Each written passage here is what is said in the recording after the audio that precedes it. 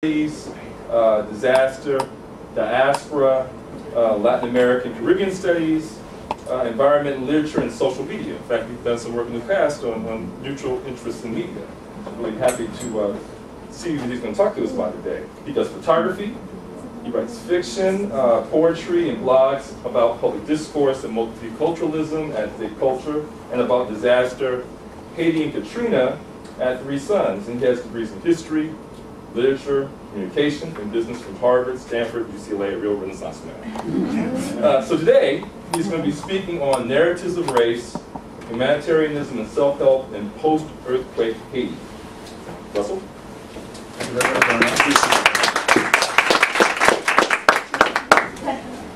Thank you, everybody, for being here and uh, to be able to start a discussion more than come up with any uh, final conclusions here. See, no signal. But, uh, second. It's a yes button, I believe.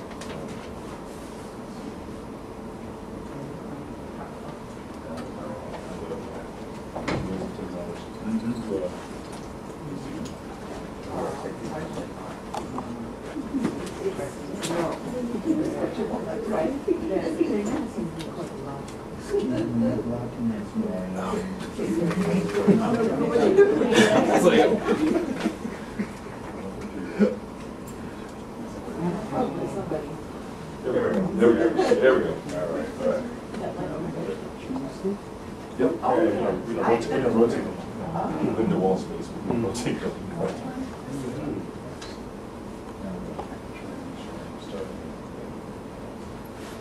There we go. Okay. Um, I am, I guess I- I'm on sabbatical, so I'm supposed to be doing all kinds of wonderful research and so on. And uh, what I did for the first uh, almost month of my sabbatical, um, I went, went to Haiti. Uh, I had not, I've been all over the Caribbean pretty much, so not been on an island of Hispaniola. And uh, one of the things I study is disaster, and I've uh, uh, experienced as a family member, along with uh, my wife, uh, Dr. Tucker, uh, our father and father-in-law missing for uh, a week following Katrina. And uh, believe it or not, I studied disaster before that, but that made me a real serious student of it after that.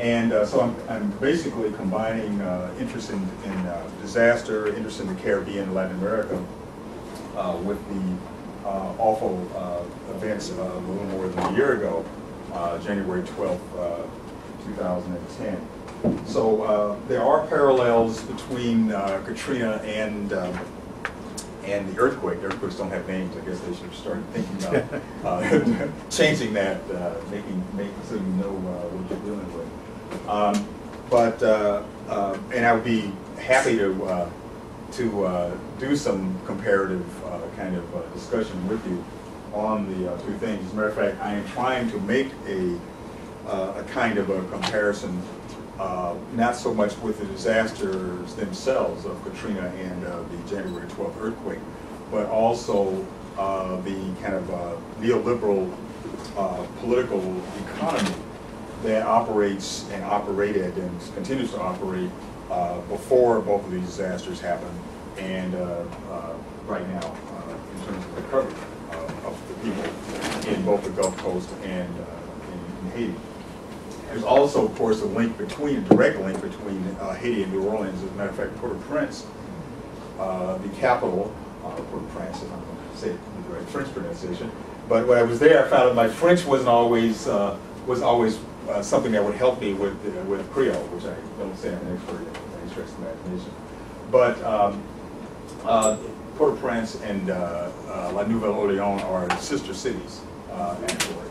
And there was a, um, after the uh, revolution, which I'm going to talk a little bit about today, um, uh, in, in Haiti, uh, a number of um, Haitian uh, planters uh, brought their captives with them to New Orleans. So there was another influence of the culture that was, or the African-based culture that was uh, combined with uh, uh, French and uh, uh, Spanish and Cuban and uh, Native American uh, in, in uh, New Orleans. So, uh, so as a person that, that uh, at least finished high school and claims to be from New Orleans, uh, I've had an interest in, in Haiti, which I've never really uh, uh, had an occasion to follow up on until the earthquake. So it's sad, sad to say that that jolted me into, to action. I, as I said, I've been all around Haiti, but I've never actually been to Haiti, so here I am. Um, the other thing I, I want to say is that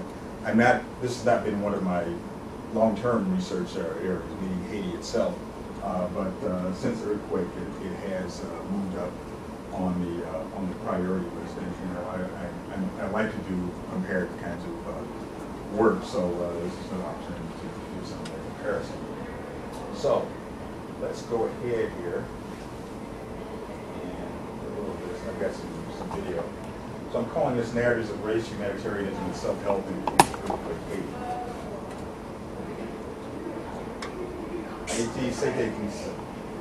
And this, uh, anybody here speak Creole?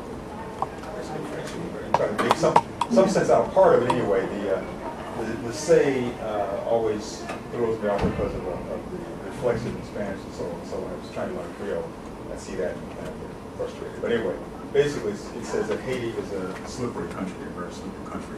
They're referring to the politics, uh, in Haiti, but uh, you could uh, probably expand that beyond just the political dimension. And the reason I chose that quote um, is that um, I want to try to uh, you know, do that comparison I was talking about with the uh, uh, some of the neoliberal political economic issues uh, that are uh, operating in the Gulf Coast uh, and affecting that recovery, uh, but also existed before Katrina, and how those might also be happening in Haiti. So we'll come back to come back to that. And here's where I'm going to go today. This is the roadmap, literally, it's a roadmap of, of Haiti.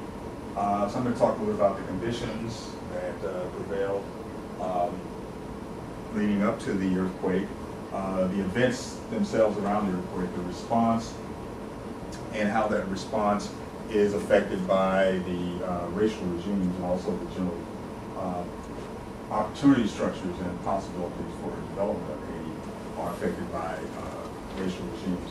And then I'll talk, a little bit uh, about narratives, another kind of, I'm sure we'll exhaust ourselves. But anyway, so let's let's go on.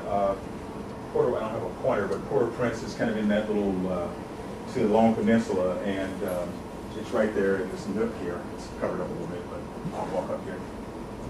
And uh, so I, I spent most of my time, virtually all of my time here, uh, fishing uh, for that month that I was there.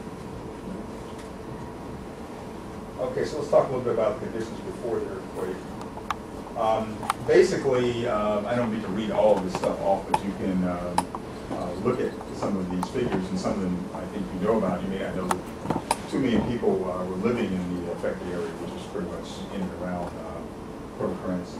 Um, uh, basically, it's become a cliche to talk about Haiti being the poorest country in the Western Hemisphere. I'm going to come back to that much later uh, in the, in the talk. And um, the uh, other other big issue is uh, lack of education, and of course poor living conditions. Uh, some of which, of course, contributed to, or many of which contributed to the, uh, uh, the loss of life and loss of limb uh, in the earthquake, because many buildings, not all, but many buildings in Port-au-Prince are built with reinforced concrete, poorly reinforced concrete, and given that no earthquake had really hit uh, that area for uh, the time between uh, 2010 and 1770. Uh, And no, nobody, you know, people were kind of oriented toward uh, hurricanes, tropical storms, a lot of rain, that kind of thing. Um, And uh, so a concrete house is really good for, for protecting against a hurricane, but it doesn't help you if it doesn't have, if you're not building according to the kind of earthquake codes, and there earthquake codes uh, in Haiti. Okay? Uh, This is uh, a Haitian school, and uh, it's a little dark there, but if you you see where the light's coming from uh, above the kids there, uh, that's a concrete wall. And uh, the rest of the building is concrete. So you can imagine what would happen and what may have happened in that particular building. I don't know for sure, but um, when the earthquake did happen,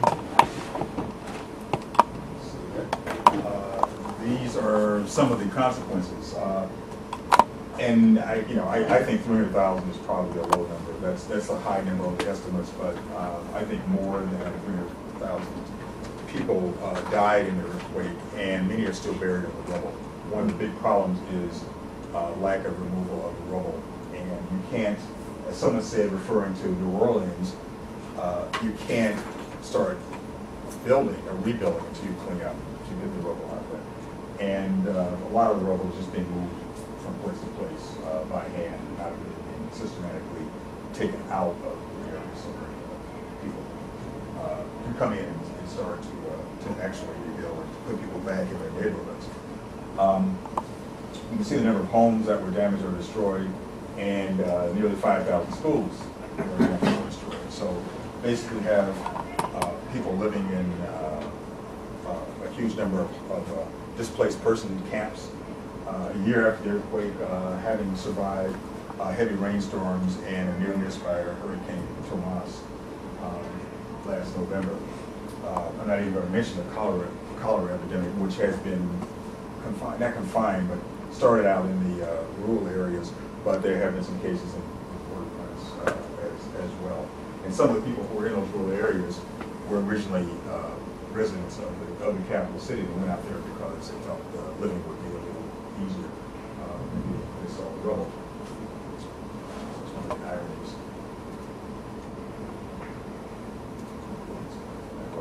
All right, and this is a school that collapsed.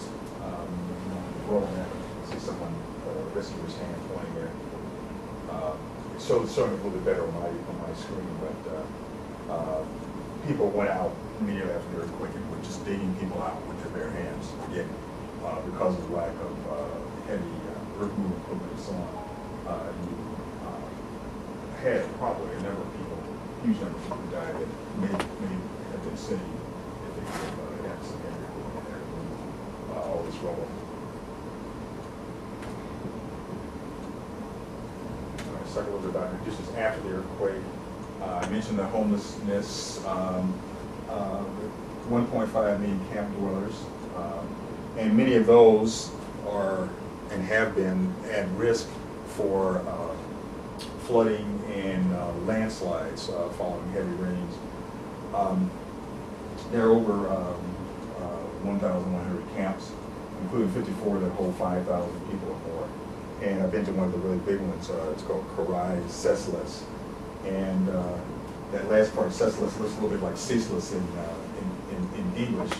Uh, The camp goes on and on and on, the picture included in this PowerPoint, but uh, when I left uh, Port-au-Prince and flew over, uh, I guess we were flying westward, there was the camp, which took probably almost 40 minutes to drive to, over bad roads, that kind of thing. And it just, it- it sprawls forever. It's out in open area, no trees. Uh, It's just desolate, and that's one of the, one of the big camps. Um, The, um, I mentioned the, uh, uh, the issue of rubble there. Uh, the 19 million cubic meters of rubble uh, that resulted from the quake in uh, Port-au-Prince, enough to fill a line of shipping containers stretching end to end from London to Beirut. I took this from an English website, that's why That particular distance, that's, I, I measured it's about uh, 42 or 4,300 miles, and it's probably the same as from Port-au-Prince up to Portland, Oregon. And I, I- think that's interesting because uh, that particular uh, terminus there in Oregon, because uh, one of the Haitians I met and uh, befriended um, is married to uh, a Sierra Leonean woman who works in, uh, uh, exactly mental health, but working with the developmentally disabled.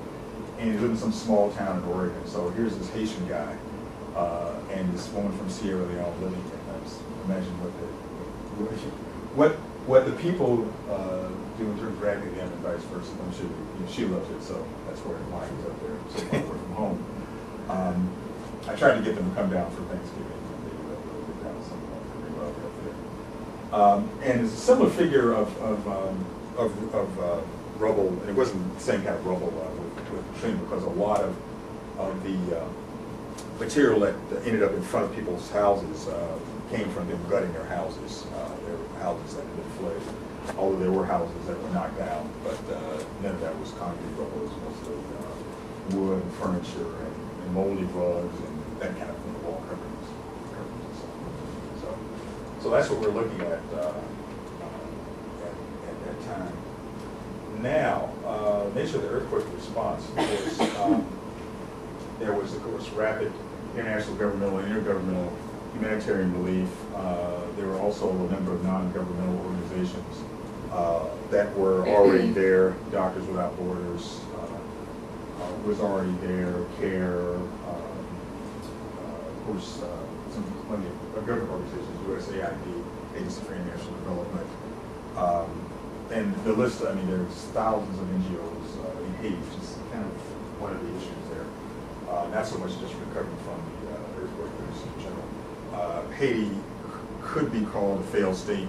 There basically is no functioning government. You could argue that there wasn't much one before the earthquake, but uh, Parliament's been dissolved since the earthquake, and we'll talk a little bit more about that uh, as well.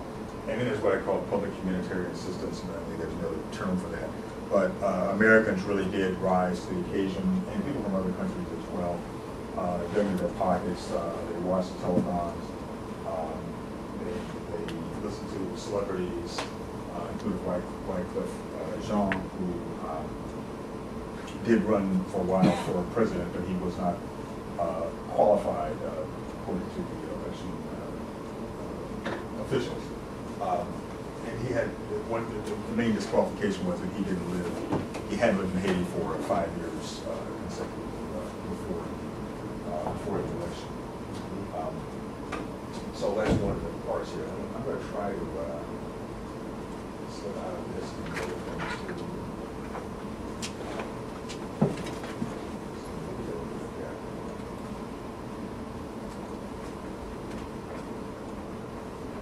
Okay, so one of the, uh,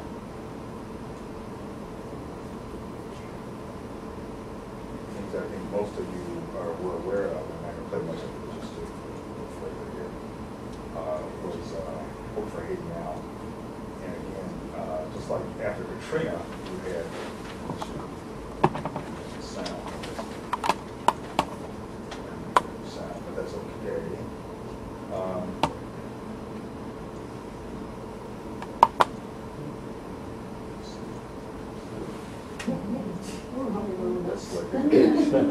All right, but anyway, you can see this is uh, Alicia Keys, and one of the things that's, it's kind of become a cliche, I guess. uh, Here we go, here. a little bit. Um, you know, You all know her song, the song Stevie Wonder, and so on. Um, One of the things that didn't operate uh, Katrina that was a factor in uh, the Haiti relief was the uh, uh, social media uh, and uh, mobile phone payments and that kind of thing. So people could actually, it was very easy to give, there it says donation will be added to your mobile phone bill and so on. So Katrina, you had the the World Wide Web uh, during the Haitian earthquake. You had Facebook, you had Twitter, you had mo- mobile devices and so on. Anyway, so there you go.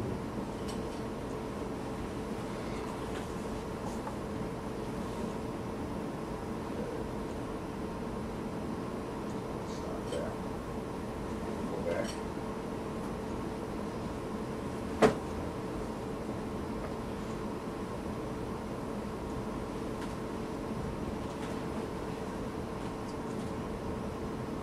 All right, um, and I just have this here as just one example of, uh, the kind of the immediate response by the U.S. Congress and the President, um, following, um, following the earthquake. Go up here, you know, This is some of the aid figures, and this is actually very specific. Uh, I think the, the amount that's been pledged to Haiti total is about nine billion dollars. All right. And this is a list from uh, Relief Web, uh, which goes on and on and on. It goes down to, I mean, South Africa and all kinds of much smaller countries, but these are the top countries, U.S., Sweden. And what's interesting is uh, percentage per citizen. Uh, And uh, you can see that the UK and the US are pretty much neck but Sweden, a much smaller country, uh, you know, committed almost uh, one-fourth as much as the, uh, as the US. Matter of fact, a number of the Scandinavian countries see themselves as, they, they value themselves based on how much aid they provide, uh, not only in cases of emergency, but in terms of normal foreign, normal foreign aid. Um, But you see Canada's up there as well. So that's another piece. Now, um, take a- I'm gonna get into the kind of theoretical piece here, if I, if I may. And basically, um, one of the, uh, uh, things, the points I want to make, I mentioned political economy before. Uh, When you look both at uh, uh, New Orleans and the Gulf Coast, uh, following Katrina, but even before Katrina, um, as well as, as well as Haiti, um, one of the things that is operating is neoliberal kind of a political um, e- economy. And uh, basically, the, um, uh, what I'm doing in terms of a theoretical premise is that uh, international neo- neoliberal governance framework buttressed by the United States affects the life chances of Haiti, Haitians recovering from the January 12th earthquake, reinforcing existing racial, class, and gender inequalities. Uh, This framework plays out in narratives in the media coverage of the catastrophe. The counter narratives of self-help and self-determination voiced by Haitians tend not to show up or tend not to show up in the mainstream media accounts, but play a vital role in the national recovery. And so that's kind of a main point that I want to, uh, want to underscore early on, I'll get to some of those narratives uh, a little bit later. Um, And I'm going to skip over uh, some of the people that uh, are involved in some of this thinking, uh, but let me just go on and uh, suggest that some of the researchers uh, say that there is a demonstrable nexus between racial inequality and state and local government that rests on the, uh, now side, that rests on the assumption that the quote, chief end of public power is to equip private market interests with, with the means to allocate most vital goods and services, jobs, healthcare, housing, and, and so on of society. Further, they state that uh, the policies that work against human development among the black and poor people of the Gulf Coast grows out of a political economy supported by a neoliberal uh, ideology of, quote, devolution and privatization, unquote, that unravels a social safety net uh, at the same time that it swells poverty and exacerbates racial divisions. Uh, Lowen, Lowen Shaw argued that racialized neoliberal political economic, and, uh, uh, argued that a racialized neoliberal political economy operates in Louisiana, Alabama, and Mississippi to influence opportunity structures for redevelopment and community agency. In developing their claim, uh, their, their claim that neo, uh, neoliberalism undercuts the goals of human development, Lowen Shaw um, borrowed the concepts of quote racial regime unquote and quote racial order unquote from race theorists such as King and Smith. I'm not going to go into all that in the interest of time. Um, so insofar as I'm using their work for my uh, for my own conceptual purposes, I don't want to div- divide or, or dive too far into the details of the qualitative case studies that Lowen uh, Smith performed. However, some of you may wonder whether the conceptual framework developed uh, to understand uh, racial order in the American South, where African Americans are a numerical majority in many cases, or, or pretty much a, a majority in certain counties or cities such as New Orleans or the Alabama Black Belt, can apply to Haiti, was overwhelmingly black population and black government. I would argue that a similar pattern of governance of the uh, recovery, such as it is, uh, has emerged in Haiti. And again, this existed before the before the earthquake. So when I say emerged, it's it's it's. I'm arguing that we should kind of pay more attention to it if we're going to understand why this uh, recovery is going to be uh, challenged. Um, the obviously this this this particular case of Haiti, uh, the uh, governance issues are internationalized. Um, but in most other ways, a neoliberal structure and ideology has been imposed on the post-earthquake reconstruction of Haiti. Furthermore, the history of Haiti has been characterized by the country's subjugation to the international racial regime, first by the resistance of slave-holding nations, France and the United States, to confer diplomatic recognition on the Free Black Republic. Been by direct occupation by the United States from 1915 to 1934.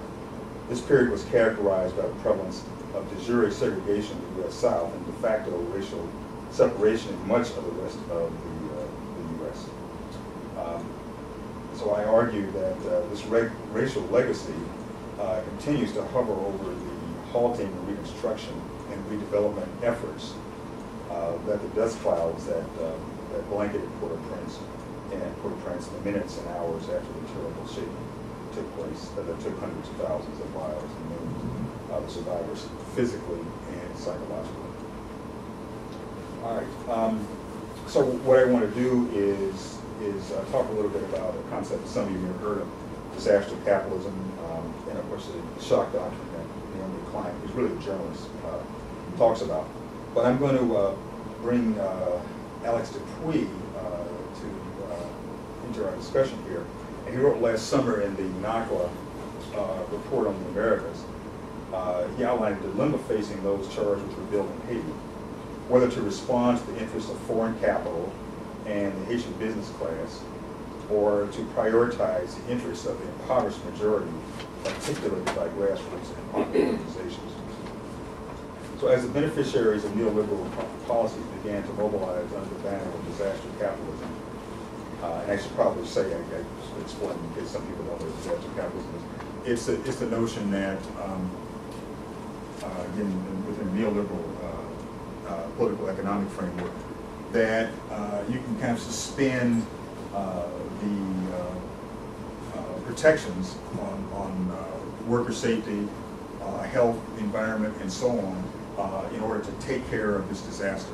But the disaster is basically used uh, as, as an excuse to further uh, privatize and, and to get rid of, uh, uh, of restrictions uh, on un- untrammeled capitalism. So we saw this happen in New Orleans. One of the first things that George Bush tried to do, he actually did do, was suspend the the Bacon-Davis Act, which puts a floor under wages for people working in construction. So the idea was, well, we can get rid of some of this paperwork, and uh, we get people in here and they can start working right away. So um, eventually, there there was never an outcry, so he he had to reinstate the Davis-Bacon, uh, Davis-Bacon Act. But um, the same kind of things that you saw happening in uh, Iraq uh, with um, uh, uh, some of the companies like Brown, Kellogg Brown and Root and Halliburton and so on, basically taking over a lot of the services for the, the military. As a matter of fact, I was talking to my father, I was just, just in uh, Baton Rouge, where he was now, um, moved away after Katrina. Um, and uh, of course, he says, well, all the things that used to take place in the Army, uh, lowly things as uh, KP, uh, kitchen control, where uh, you would be uh, punished and you would have to peel potatoes and that kind of thing. All that work is being done by outside contractors now, and people are making a bundle of money. So uh, disaster capitalism is just a way to accelerate this privatization process and use uh, the, the cover story of recovery, reconstruction, relief, and so on uh, to, to do that. So I'm, I'm arguing that uh, this kind of thing, and I'm not the only one uh, arguing this, uh, is happening in, in Haiti, and it's also happening with the very, or many of the very organizations that are there to help uh, the uh, international uh, relief agencies that may be part of governments, and also some of the non-governmental organizations. So I've kind of pretty much spelled that out, but um, anyway, so let me just. And, and the university, anybody, exactly. Well, like, I don't know if anybody else has uh, been invited to this uh, UC Haiti uh, event next week. I think it's next Wednesday. Uh, But someone put, you know, put my name forward on that, and I, when I kind of looked at what they wanted to do, I contacted uh, some people I know who do a lot of work in in Haiti, who've been going to for years, and said, well, okay, what's your reaction to this? And you know some of the names that are mentioned here. Um, So I'm gonna go ahead and go, but, uh, yeah, it's kind of interesting. Uh, And, and again, the impulse, I mean, even the impulse for agencies uh, and uh, non-governmental organizations is a positive impulse. I don't, I don't, I don't doubt motives, but the, uh, there, there's also institutional consequence uh, for this kind of thing. And uh, as a matter of fact, I'm gonna kind of jump ahead and, and basically, uh, just do this, uh, very rapidly, I'll just start about verbally. Um, Bill Clinton, who is now known, by the way, as the president of Haiti. I don't know if The rest of you know that. He went from being the first black president here to being the president of Haiti. And I'm not sure what, where, where he's going next. Exactly, right, well, you know, but remember that he and, he and Hillary actually honeymooned in so, so it's kind of full circle. I think, you know, after you retire, you know, you want to get back to those, those kind of have those nostalgic kinds of, uh, of feeling. But anyway, so he and the, um, uh, the prime minister of Haiti, um, Bellerive, are the two co-chairs of this, uh, international, uh, commission for the reconstruction of Haiti. And Bill Clinton actually admitted that one of the policies that he championed when he was president, um, which, and of course, you know, the big thing he did when he was president, of course, is NAFTA and other kinds of uh, trade liberalization uh, moves that uh, have pretty much destroyed economies all around the world, uh, certainly in this hemisphere. And Haiti, Haiti didn't escape that, and uh, what he did, and he had his rice farmers in, in Arkansas that are benefiting from, uh, from these policies, they are able to, uh, in, in essence, dump rice in, into Haiti. And they're, of course, Haitian rice, rice farmers uh, who are, who are basically put out of business. And to the extent that they weren't completely put out of business before the earthquake, what's happened since the earthquake is that they are, uh, they're now bringing rice in to feed people that, of course, uh, you know, are facing uh, starvation. Instead of going to the Haitian rice farmers and getting rice from them, they're getting it from the United States. And you see this not only with rice, but with other kinds of products and other kinds of services. Instead of getting them from local providers, these NGOs, uh, agencies, and so on are uh, connected with, you know, with business interests in their home countries. Mhm. And they require that the products that are being used in the, in, in whatever kind of aid uh, come from those countries. And uh, a number of people are now commenting on this from any, from those countries as well. From Canada is another one, by the way. Pretty much article On that. And Bellerive uh, said that the, Clinton admitted this in front of uh, the, the U.S. Senate uh, Foreign Relations Committee in March. And uh, Bellerive had to go in front of the Haitian Senate and basically explain that their Haitian sovereignty was going to be uh, subsumed by uh, this IHRC, this, uh, this, this Reconstruction Commission. And basically, he- as I said earlier, the Haitian Parliament has, you know, does not, is not meeting, is, is suspended and so on. And, uh, and of course, they questioned him and said, you're basically, you know, saying that we don't have any control over our fate. He said, well, basically, you've got to do this in the short run and you'll, you'll have it, have it back uh, down the road. Now, it's questionable whether they have had it even before. Right, exactly. You know, since the, you know, the, the, the little while that they got to enjoy the revolution, uh, before they had to uh, be forced to pay uh, twenty-two billion dollars in today's money uh, back to, uh, back to France and reparations and so on down the line. So anyway, um, some of you may have, may have seen the, uh, may have seen the sixty minutes piece on the fourteenth of January, and they, uh, you, you saw Hayden, Hayden Clinton, that's interesting, Clinton. Hayden Clinton, but, but Clinton and Bellerive were featured in that, and I actually have that, but I, I think I'm, I'm not gonna show that to you. I wanna go on to the, to the, to the narrative piece. Um, yes. Excuse me, just a quick question, it's Sure. probably common knowledge, but Mhm. to whom does Clinton report? Ah, that's, that's very interesting. That is the problem with this commission. It doesn't, it's not accountable. It doesn't report to anyone. It doesn't have to issue reports on any kind of regular basis. It's a very good question. So they basically are autonomous and pretty much, you know, decide what they're gonna do. Um, Basically, to be on the commission, you have to have pledged a certain amount of money, a certain amount of money. And so this is basically a group of donors. And so they decide what's gonna happen, not any Haitian government organization or the Haitian people or Haitian community groups and so on. So that's basically my, my. So they They have Haiti. Right. Yeah. Now, they, they have more power than the government, I mean, Yeah, They- Right, churches. there's no, there's no government, as a matter of fact, a huge percentage of thirty percent of the civil servants were killed in the earthquake. So you really don't have people to do the daily work of the government as opposed to the, uh, the political appointee. The commission is probably connected to some, some international interests too, though. I mean, like, Well, yeah, yeah, that's, that's, that's what I'm saying, yeah. Council on Foreign Relations, groups Yeah. like that. you know, Council, oh, yeah, I see what you're saying, it ties into those kind of things, it ties into the UN and so on, but, but when you really get down to it, there is no Mhm. requirement that they. Sure, sure. That they say, okay, this is what we've done, this is, you know, do you approve this, or would you like to have a say in this? So with no sovereignty as far as, as far as Haiti is concerned. Yeah, they're, they're, very- they're basically, and Bellerive, actually, the prime minister has more power in the Haitian system than the president, is much more, Bellerive has much more power than uh, the outgoing President Cavalo, if he ever is, you know, replaced by, uh, whoever is elected, or deemed to, uh, to go into the uh, runoff election. So at any rate, um, having said that, let me, let me, let me go ahead and, uh, move ahead because, uh, I kind of indulged a lot of other things. Uh, so what I want to finally kind of, uh, get to here is that, uh, other piece, which is, uh, the, uh, idea of narratives. And, um, so there are a number of, uh, you know, my, the title of this, uh, had, had to do with, uh, humanitarian, uh, you know, narratives of humanitarian aid, um, as well as, uh, self-help and self-determination. So, you know, we, we're, I think most of us here are familiar with the notion of grand, grand narratives from uh, Lyotard, or master narratives and so on. And you could argue that there have been a number of narratives associated with, with Haiti. And uh, they have to do with, I argue, with different periods. And of course, the, the first narrative started with the revolution and the fact that uh, the Haitians were able to get their freedom from slavery and become an independent republic that happened to be black at the same time. And um, uh, that, of course, was uh, shattering because, uh, one, the Haitians defeated Napoleon, who had the most powerful army in the world at that time. All of Europe was.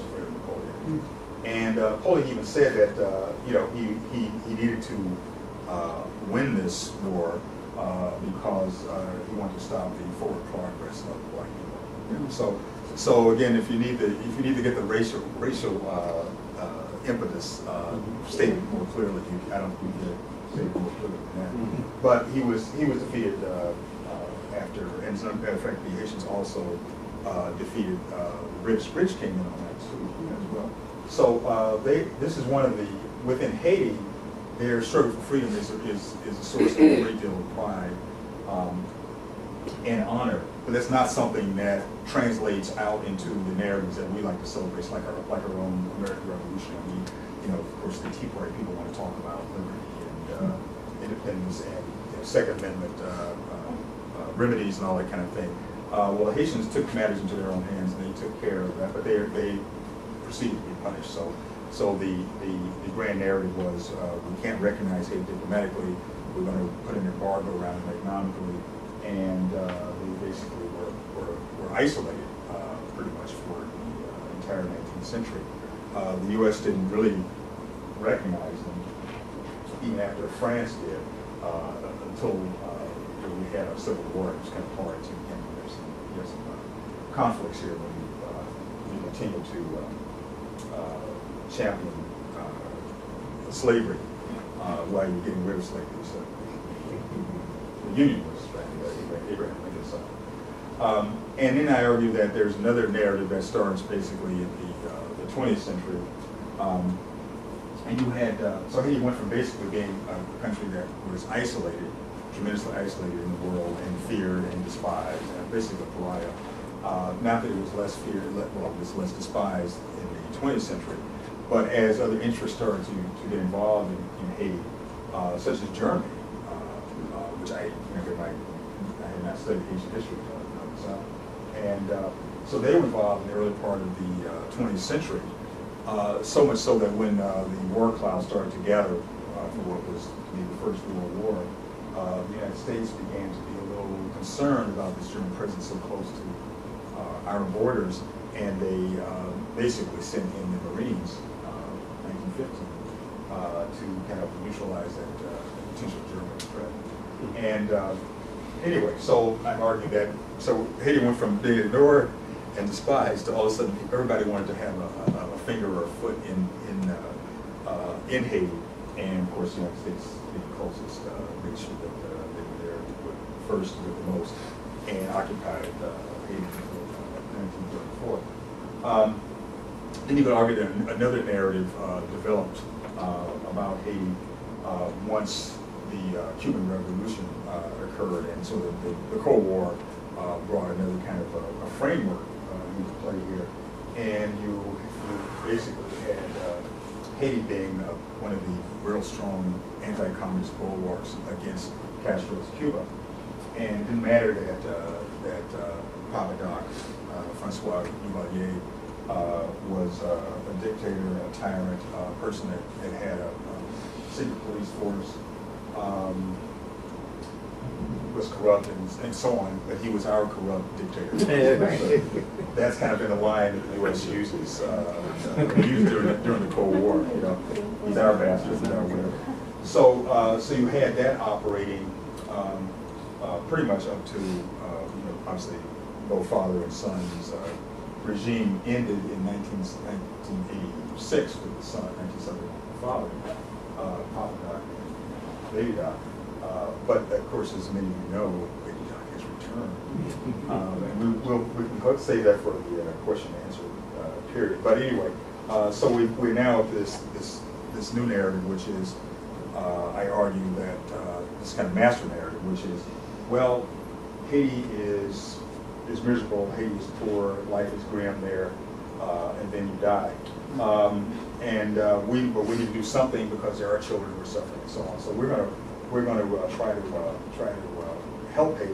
And, there are all kinds of proposals, including some, uh, like uh, Leslie Voltaire, uh, who's a political figure in Haiti, uh, said, let's, let's move people out of uh, densely populated and dangerous Port-au-Prince and get them out into rural areas, and we can set up smaller communities and so on. And that's, that's, that's rang a bell, I said, hmm, I think I heard that before. They were saying the same thing about the lower ninth ward in New Orleans. Yeah. Mm. So again, you have this kind of, uh, this kind of interest in massive kind of uh, movements of people, even though the people have been, uh, in the case of Haiti, been in displaced uh, persons camps. Uh, Nobody worried about that movement and worried about them, you know, lingering and, and, uh, you know, suffering out there in those, in those camps. Uh, And the same thing in New Orleans, people weren't going to be allowed to to rebuild lower ninth ward. Of course, the, again, self-determination and people's community agency uh, kept that from, uh, kept that from happening. So I'm basically arguing that there's a counter narrative, and I'm not going to show you the, there's a video I wanted, wanted to show, um, I was trying to wrap it up. Um, A counter narrative of Haitians operating on the ground who are saying, no, we do not, you know, you're not going to dictate to us, or you're not going to even suggest what might be best for us. We want to cover some of the, uh, uh, some of these issues ourselves, and uh, many of these issues. One of the, here's what the video would show if I were going to show part of it. Uh, It's um, about, oh, it's basically done by uh, a grassroots uh, media organization uh, in Haiti, and it's staffed by, uh, by Haitians. And basically a news story on uh, what's called um, money for food, cash for work, I'm sorry. Yeah, it- It ends up being obviously food. And the idea here is that you pay people uh, some money uh, to get, get money in their pockets and to feel good about themselves and so on. And it kind of sounds, in principle, like a good idea because they're actually working. It'd be one thing if you were just giving them money, because that'd be too much like welfare. You can't do that. But you got this, so it's kind of like workfare. And basically what happens is that uh, in this, in the story, you will see some people making their first statement, how this is a good thing.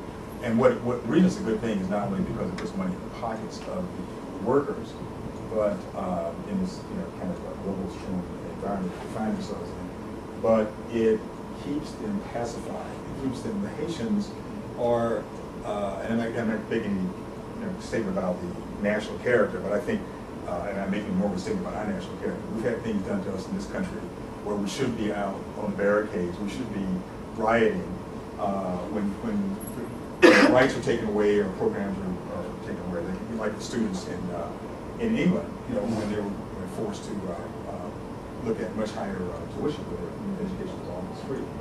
Um, so we don't have that kind of uh, willingness anymore to get out there and protest in, in most cases. I mean, we have these kind of mock things, and, you know, Tea Party people come out with their lawn chairs, sit around uh, watching, you know, the the reflecting pool and all that.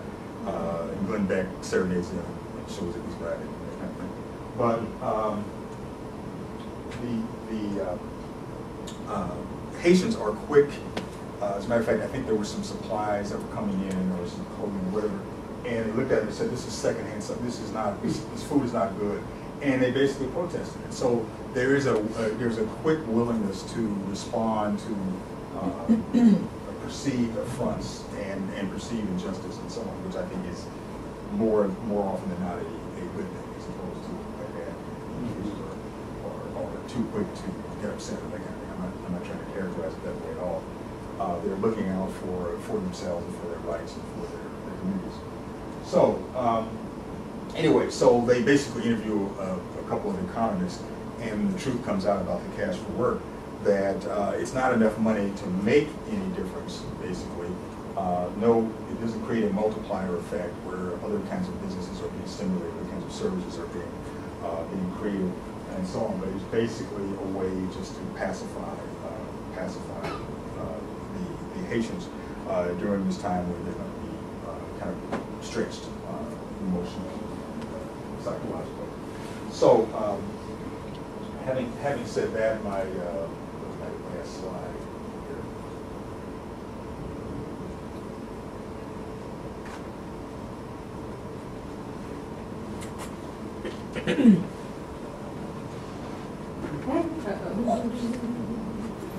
Yep. It's a school computer, so you have to have a password. I do, do know it. Okay. All right, so these are narratives I was talking about. And basically, I'm ending by saying that uh, stories are very slippery. So the narratives, the grand narratives that are imposed on, uh, on people, uh, where, wherever the country or region or area uh, might be, uh, are things that have to be counteracted. And when, in the case of Haiti, we don't necessarily hear the voices of, of, of Haitians. We often are, you know, the, the voices that we do hear are the voices of people that speak English, for example, or they're the same contacts that uh, news people, like parachuting, I say the word that's used, uh, interview. So you don't necessarily get to hear uh, what people and what uh, people who represent communities um, uh, say and think and or propose it themselves. So, so with that, I'm going to stop and we have a- maybe a couple minutes for questions. I we've got everything after this. Thank you.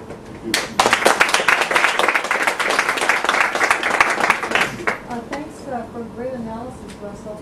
Talking about the narratives and the counter narratives, I was wondering, how do you add the Dominican Republic as a factor in this complexity? Okay.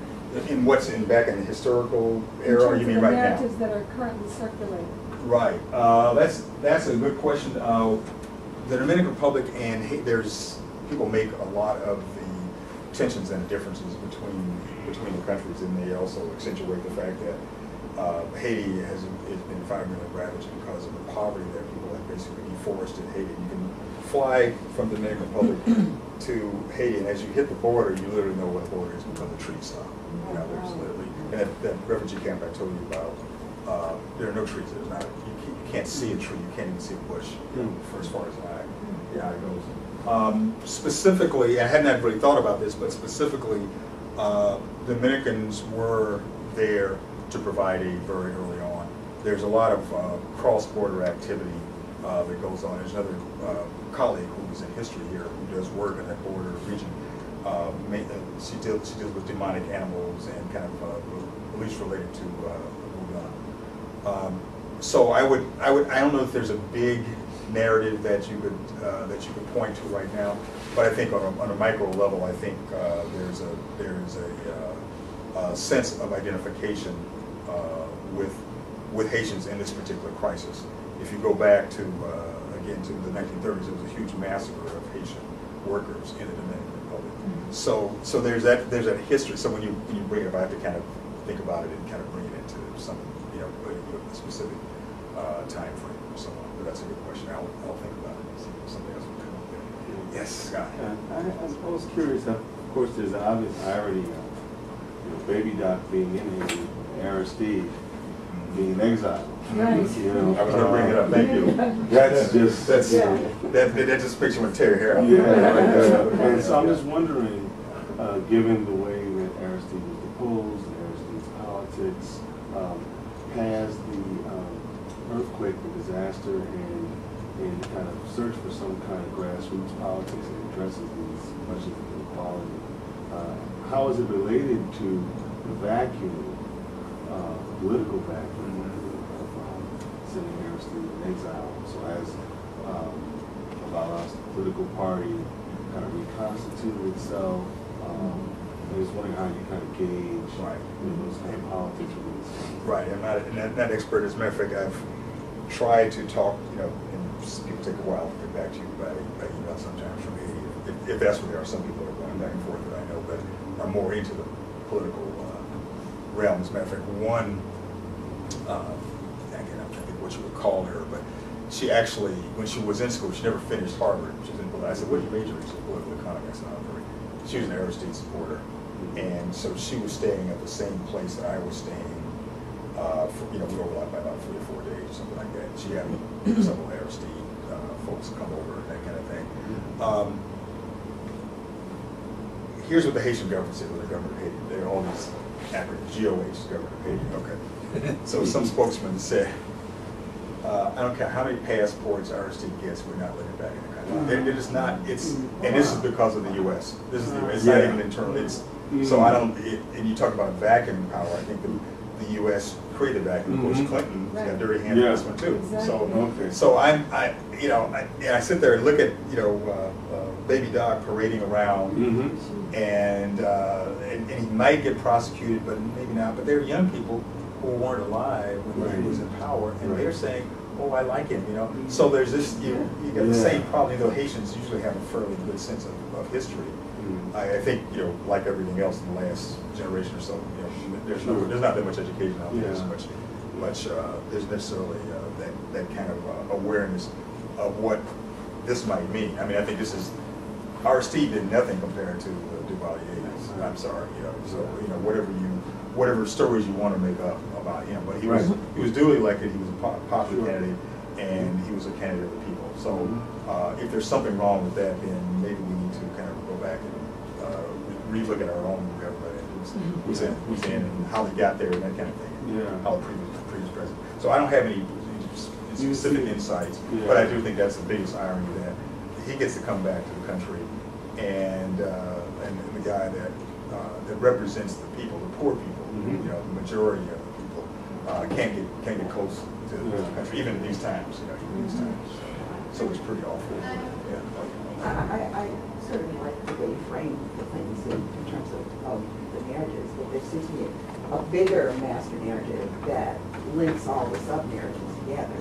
And that, and, and that begins with the Haitian Revolution, Mhm. uh, where a, a sort of European-controlled country is taken over by a bunch of black savages Mhm. who are so low down uh, in the hierarchy of humankind Right. that they can, cannot be trusted to run a country, Mhm. okay? And therefore, our approach is to isolate them Mhm. uh, and make them pariahs. Then by 1915, we have been into Haiti so many, marched into Haiti so many times since 1950. Mhm. I mean, I, it's like, you ha- you must have occupiers' quarters. Right. Yeah. many cases there are? In Yeah, we Haiti. do, actually do. And so we come, we come full circle to the last crisis in Haiti.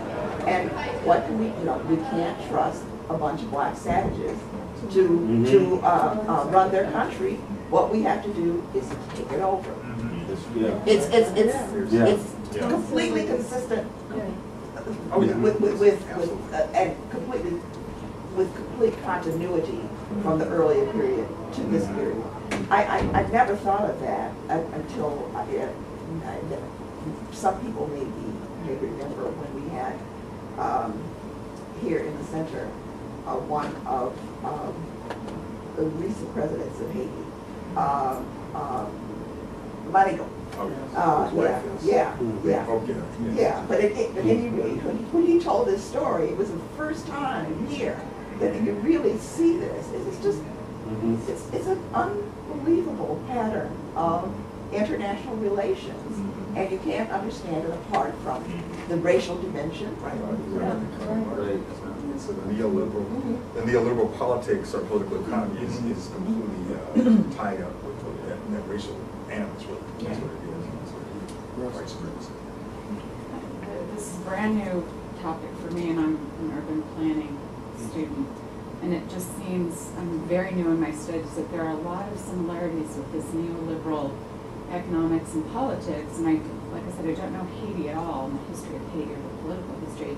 But I'm looking at some of the similarities with how East African countries in particular are treated where, you know, we've had some political influence, but our influence politically is not so strong. So if you take that neoliberal economic approach in terms of not necessarily dealing with disasters, but in dealing with poverty and poverty reduction and the kinds of plans that we try to affect and put into place that, that, that don't have good results and how Kenyans, you know, are almost tired of our empty promises, not just the United States, but other countries that to have more of their fingers in, in the aid pot, and there just seems to be this, this horrible influence of neoliberal, uh, like economics.